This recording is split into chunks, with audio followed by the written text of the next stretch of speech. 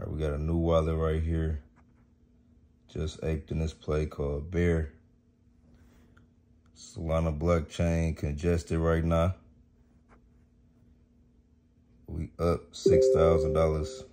Took profit on 2700 New wallet. So yeah. Let's see what this play do.